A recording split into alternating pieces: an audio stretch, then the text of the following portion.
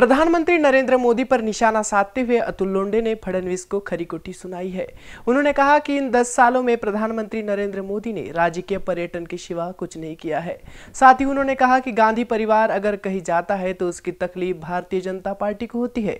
उन्होंने क्या कहा, आइए देखते हैं आगे। देवेंद्र फडणवीस जी, या देशामध्ये सत्तर वर्षात जर कुणी राजनैतिक पर्यटक असेल, तर त्यांचं नाव आहे नरेंद्र मोदीजी.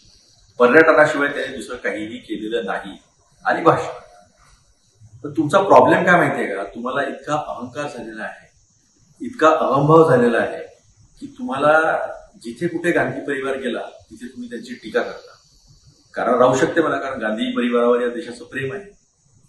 इथे हे देश त्यांच्याशी इंटरॅक्ट करतं. आणि तुम्हाला इतकी भीती त्यांची वाटते कारण की ही गोष्ट तर सत्य आहे. त्यांनी स्वातंत्र्य संग्रामाच्या काळात पण बलिदान दिले स्वातंत्र्य संग्रामानंतर पण बलिदान दिले. देशासाठी कायम सेवा करत आले. पण कधी असं म्हटलं नाही मैंने देश के लिए ऐसा किया मैंने देश के लिए ये किया मैंने देश के लिए वो किया. आणि त्याच्यामुळे तुमच्या तुम्ही जे भीतीतून बोलता ती तुमची भीती आहे. काढायला आम्ही पण काढू शकतो.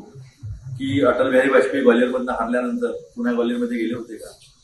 स्वतः नरेंद्र मोदीजी बडोद्यामधून निवडणूक जिंकले होते. पुन्हा बडोद्यात परत गेले का? त्यांनी तर आपलं गृहराज्य सोडलं. यांनी तर उत्तर आणि दक्षिण दोन्हीचा मेळ घातलेला आहे. त्यामुळे राहुल गांधी आता संपूर्ण भारताचे आहेत आणि याचीच भीती तुम्हाला वाटते.